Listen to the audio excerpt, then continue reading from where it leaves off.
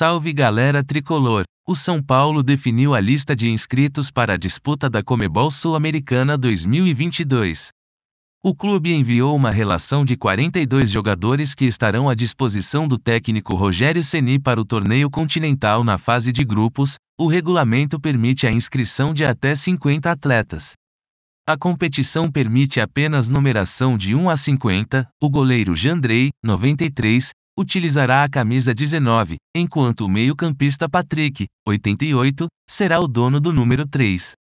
A lista tricolor conta com oito jovens jogadores de Cotia, que ficarão à disposição do time principal: Luizão, Petri, Léo Silva, Maioli, Roquenhede, Luizinho, Palmberg e Rodrigo.